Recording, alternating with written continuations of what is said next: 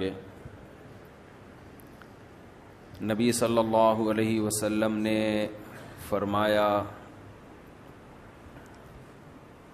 कि ललतुल क़दर में ये दुआ ज़्यादा पढ़ा करो। अल्लाहुम्मा इन्नका अफुवन तो हिब्बुल फ़ाफ़ु अन्ना। ए अल्लाह, तू मुआफ़ी को पसंद करता है, सरापा मुआफ़ी है, बस तू हमें मुआफ़ कर दे। कुरान में दो जगह अल्लाह ने ललतुल की फ़जीलत बयान की, एक सूरह दुखान में और एक सूरह क़दर में। सूरत दुखान में कहा, इन्ना अनजलनाहू फ़ी लती मुबारक। हमने इस कुरान को नाजिल किया बरकत वाली रात में। और सूर कदर में है, इन्ना अनजलनाहू फ़ी लतिल कदर। हमने कदर की रात में इसको नाजिल किया। और दोनों जगह कुरान में है तनज़लमलाइकतु वर्रूह फ़ीहा मिनकुल्ली अम्र बिदन रबिम मिनकुल्ली अम्र कि फ़रिश्ते इस रात में अल्लाह के हुक्म को लेकर नाजिल होते हैं। और सूरह दुखान में कहा फ़ी हा युफ़रक़ु कुल्लु अमरिन हकीम हर हमत वाले फ़ैसले इस रात में किए जाते हैं। तो ये सब ललतुल क़दर के बारे में है। इसको लोग शब बारात पर ले जाते हैं। और कुरान में है, खैरुम मिन अल्फ़ी शहर, एक हज़ार महीने से बेहतर है। तो इसलिए ललतुल क़दर को तलाश करना चाहिए। हमें मुतन तौर पर वो बताई नहीं गई है। बताया गया था नबी सल्लल्लाहु अलैहि वसल्लम को, लेकिन आपको भुला दिया गया। इसमें हमतें हैं, मसलहतें हैं। बड़ी हमत यह है कि अगर बता दी जाती तो हम रमज़ान के आखिरी अशरे में पूरी में इबादत ना करते। पूरे साल सोते रहते, पूरे रमज़ान सोते रहते और ख़ास उस रात को कुछ अल्लाह अल्लाह कर लेते। और ये भी ख़तरा था, बता दी जाती तो उसमें गुनाह का अजाब भी हज़ार गुना, सैकड़ों गुना बढ़ जाता। फिर हुज्जत तमाम हो जाती, फिर कोई गुनाहगार ये नहीं कह सकता था कि भाई मुझे क्या पता था आज ललतुल कदर है। तो बड़ा अजाब आ सकता था अल्लाह का, कोई उस रात में गुनाह करता। तो इसलिए अल्लाह ने, अल्लाह की हिकमत ने इस बात का तकाजा किया कि इस रात को छुपा दिया जाए। अब इम्कानात हैं। पहली बात तो रमज़ान में होगी। इतनी बात तो तकरीबन यकीनी है। दूसरी बात, रमज़ान के आखिरी अशरे में होगी। ये भी तकरीबन यकीनी है। अब आखिरी अशरे में फिर हमें यकीनी नहीं बताया कौन सी रात। ये बता दिया गया कि ताक रातों में, यानी इक्कीसवीं रात, तेईसवीं रात, पच्चीसवीं, सत्ताईसवीं और उनतीसवीं, इन रातों में इम्कान ज़्यादा है। और बाज़ हजरात के नज़दीक सत्ताईसवीं में इम्कान और भी ज़्यादा है। बाज़ हजरात का मौक़ है, लेकिन यकीनी बात नहीं है। तो ताक रातों में, यानी कोशिश तो करें रमज़ान के आखिरी अशरे में इबादत करें, वरना कम से कम आखिरी दर्जा क्या है कि रमज़ान की ताक रातों में खुद भी नमाज़, तिलावत और दुआ में दिल लगाएँ और अपने घर वालों को भी नमाजों और तिलावत में लगाएँ, दुआओं को, बच्चों को भी लगाएँ। उठाया करें रात को जाके कि बेटा उठो थोड़ा अल्लाह अल्लाह कर लो, नमाज़ पढ़ लो, कुछ अल्लाह से दुआएँ मांग लो। दुआ को बहुत फोकस करना चाहिए। आजकल दुआओं को छोड़ दिया बिल्कुल। हालाँकि सबसे बड़ी इबादत ही दुआ है। दुआ में अल्लाह और बंदे का जो कनेक्शन होता है ना, वो नमाज़ में भी नहीं बनता। वो तिलावत में भी नहीं बनता। वो जो ताल्लुक बनता है ना अल्लाह और बंदे का, दुआ में वो किसी इबादत में नहीं बनता। तिलावत का मतलब तो ये कि अल्लाह आपसे क्या कह रहा है, वो सुन लें आप। इसमें तो ये फ़ायदा होता है। लेकिन दुआ में तो आप अल्लाह से ताल्लुक बढ़ाते हैं ना, आप अल्लाह से मांगते हैं। तो इसलिए इन रातों में खूब गिड़गिड़ा के लंबी लंबी दुआएँ मांगने का मामूल बनाएँ। एतकाफ वाले साथी भी बैठ जाए करें अकेले में, कहीं कुछ कर लें अल्लाह अल्लाह। सब कुछ मांग लें, ये सोच कर के जो मांगेंगे अल्लाह हमें वो देगा। जब इंसान माँगता है ना, पता नहीं मिलेगा ना मिले तो फिर मिलता नहीं है। अल्लाह कहता है, जब तू, तेरा मेरे बारे में ये नज़रिया है कि मैं देता ही नहीं हूँ तो फिर माँगता रहे बैठ के, मैं नहीं दूँगा। अल्लाह में इस्तना बहुत है। अल्लाह का मामला यह है कि अल्लाह में इस्तिगना बहुत है। अल्लाह के सामने झुकोगे तो वो चप्पड़ फाड़ के देगा। थोड़ी सी भी अकड़ दिखाओगे तो फिर अल्लाह का कुछ नहीं बिगाड़ सकते। फिर खुद ही रुलते रहोगे, सारी ज़िंदगी बर्बाद होते रहोगे। जैसे नबी सल्लल्लाहु अलैहि वसल्लम ने एक बूढ़े को बुखार में देखा, फरमाया कि तहूर ये बुखार तुम्हारे गुनाहों को माफ़ करेगा।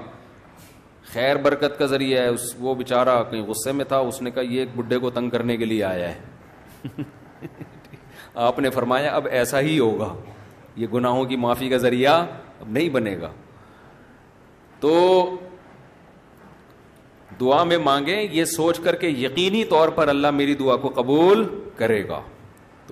और बार बार मांगते रहे। मांगे क्या? ये बड़ी प्रॉब्लम है, ये बड़ा मुसलमान के साथ मसला है। भाई बड़ी बड़ी चीज़ें मांगे अल्लाह ताला से। सबसे बुनियादी ज़रूरत हमारी क्या है? फमन नार व उदखिल जन्नत फ़कद फाज, जिसे जहन्नम की आग से बचा लिया गया और जन्नत में दाखिल कर दिया गया, वो है असल कामयाब। तो ये मांगो अल्लाह ताला से। अल्लाह, मुझे जन्नत मांगने का मतलब पता है क्या होता है? ये नहीं होता कि मैं इन्हीं बदमाशियों में रहूँ, लेकिन आखिरत में मुझे माफ़ करके जन्नत में दाखिल कर देना। ये कतान मतलब नहीं है। जन्नत मांगने का मतलब ये है कि अल्लाह वो कामों की तोफीक दे दे जिनकी वजह से जन्नत मिलती है। क्योंकि ये तो बहुत कुफर है एक तरह का, कि मैं रहूँ ऐसे ही और ये तो गोया अल्लाह की आयात का मज़ाक उड़ाने वाली बात होगी तो हिदायत मांगे, हिदायत, सीधा रास्ता, ऐसा रास्ता कि जिस पे चल के क्या मिलती है? जन्नत उस रास्ते पे चला दे। ये सबसे ज़्यादा मांगा करें। और जो दीन के काम में लगे हुए हैं मुबलगिन हैं ओलमा हैं, दीनी मदरसे के तलबा हैं, वो एक और दुआ बहुत ज़्यादा मांगा करें। क्योंकि उनको सिर्फ़ जन्नत थोड़ी चाहिए, उनको तो ये चाहिए कि हमें अल्लाह ने पैगंबरों का वारिस बनाया है तो हमसे, ए अल्लाह, तू दीन का काम बहुत ज़्यादा ले ले, जो हमारा मकसद है, हमारा हदफ है। अगर एक आलिम कारोबार कामयाब करके चला गया तो ये कौन सा तीर मार लिया उसने? ये कोई उसका असल काम थोड़ी था? एक आलिम शादी करके, चार शादियाँ की और धड़ाधड़ बच्चे पैदा करके दुनिया से चला गया। काम तो ये भी अच्छा किया उसने। लेकिन ये उसका असल हदफ, ये तो कोई भी कर सकता है। ये तो अबू जहबी के जो सबक बादशाह थे, उनके मेरे ख्याल सौ के करीब कहा जाता है बेटे बेटे थे उनके। धड़ा धड़ शादियाँ की उन्होंने वो लोग तो फिर तलाकें दे दे के भी करते रहते हैं ना, अरब बादशाह। उन्हें कोई नहीं पूछता कि तलाक दे भी हम तो आप और नहीं, ये घर का शुरू कर देना। पिटोगे बहुत बुरे तरीके से। वैसे भी शरीयत में पसंदीदा काम नहीं है तलाक देना। किन अरब लोगों के पास पैसा बहुत है वो भाई, एक बीवी को तलाक दी है भाई बंगला वंगला दे दिया, वो खुश होती है, चल भाई, बंगला मिला, फिर एक और शादी की। तो उनके हो जाते हैं सौ सौ। तो आलिम का असल काम क्या है? अल्लाह उससे दीन का काम ले ले। जैसे पैगंबरों को दुनिया में भेजा गया दीन की खिदमत के लिए, वो अगर वही ना करें तो फिर उनका मकाम और मर्तबा है? ज़ाहिर है उनका मकाम किस लिए? दीन की खिदमत। तो जो दीनी मदरसों के तलबा हैं ओलमा हैं, उनका तो ये फ़र्ज़ है कि इतना मांगे अल्लाह से कि अल्लाह हमारी सलाहियतें ज़ाया ना हो तू हमसे दीन का बहुत ज़्यादा काम ले ले। आमी आदमी भी ये दुआ मांग सकता है, लेकिन तलबा और के लिए इसकी अहमियत ज़्यादा है। तो उसमें हमारे हज़रत ये दुआ बताया करते थे अल्लाह, इखलास के साथ काम ले ले दीन का। क्योंकि दीन के काम में बहुत दफ़ा रियाकारी आती है। काम दीन का होता है, लेकिन फिर आदमी की अपनी अना शामिल हो जाती है। अपनी पब्लिसिटी, मैं मैं बड़ा बन जाऊँ, मेरी प्रमोशन हो मुझे लोग वाह वाह करें। ये नफ्स की ख्वाहिश इसमें क्या होती है? शामिल। और इससे दीन का काम तो हो जाता है। आपको क़यामत के दिन टके का भी अजर नहीं मिलता। क्यों? हदीस में आता है इन अल्लाह रुब्बा दीना बिरजुलिन फाजरीन अवकमा खाला सल्लल्लाहु अलैहि वसल्लम। अल्लाह बाज दफ़ा किसी फासिक से भी दीन का काम ले लेते हैं। उसका अल्लाह की नज़र में मकाम नहीं होता, लेकिन बाज दफ़ा काम अल्लाह उससे ले लेते हैं, हो जाता है। लेकिन मकबूल नहीं होता वो। तो इखलास के साथ, दीन के काम की अल्लाह तोफीक दे किसके साथ? इखलास। दूसरा, आफियत के साथ। दीन के कामों में आजमाइशें बहुत हैं। जेलें भी हैं, लोगों की सलावातें भी हैं। तो इंसान अल्लाह से दुआ यही मांगे कि आफियत के साथ हो जाए, आजमाइशों में ना घिरूं में। और तीसरी बात कुत और हिम्मत के साथ। कुत अलग चीज़ है, हिम्मत अलग। पावर भी हो मेरे पास काम की। कमज़ोर आदमी दुनिया में काम नहीं कर सकता तो। काम भी कुत के साथ हो, पावर के साथ, जानदार काम हो, कुछ करके जाऊँ दुनिया से। लोग कहें, भाई, लोग कहे ना कहें, अल्लाह कहे कि कुछ करके गया लोगों को बाज दफ़ा पता ही नहीं होता, कर कोई और रहा होता है, कैश कोई और करा रहा होता है। तो अल्लाह को पता है, अल्लाह कहे कि वाकई तू कुछ करके आया है। और चौथा, हिम्मत के साथ। ताकत होती है। बहुत से ताकतवर हमने देखे हैं, सुस्ती की वजह से काम नहीं कर रहे होते, पोस्तियों की तरह पड़े रहते हैं वो। पावर भी होती है, बोलने की ताकत, चलने की ताकत, दौड़ने की ताकत, लेकिन क्या हर दौड़ने वाला दौड़ता भी है? उसके लिए हिम्मत भी तो चाहिए ना।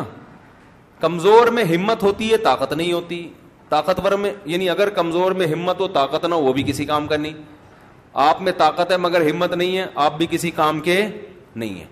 तो हिम्मत के साथ तो ये चार अल्फाज के साथ दुआ मांगा करें। ए अल्लाह, दीन की खूब खूब खिदमत ले ले, इखलास के साथ, आफियत के साथ कुत और हिम्मत के साथ। इतनी खिदमत के मैं दीन के कामों में किसी से पीछे ना रहूँ, क्योंकि मुकाबला कंपटीशन है। पहले मैं कभी ये दुआ माँगता था, बल्कि मैं क्या, हमारे दोस्त थे, वो, उन्होंने मुफ़्त, हमारे शेख को ख़त लिखा कि वो, मैं ये दुआ माँगता हूँ अल्लाह, मैं दीनी कामों में सबसे आगे निकल जाऊँ, सबको पीछे छोड़ दूँ मैं। तो ने फरमाया, ये सबको पीछे छोड़ने वाली दुआ ठीक नहीं है, वो कहेंगे, हमें क्यों दुआ में हरा रहा है? तू अपने लिए मांगना, ये ऐसा ही है जैसे आप कह रहे हो अल्लाह, मुझे इतना पैसा दे कि वसीम से ज़्यादा दे दे मुझे। वसीम मुझसे पीछे रह जाए।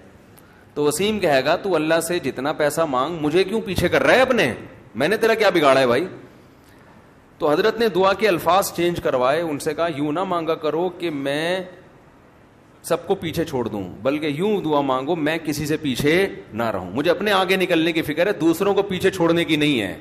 थोड़ी सी वर्डिंग सही कर लो अपनी।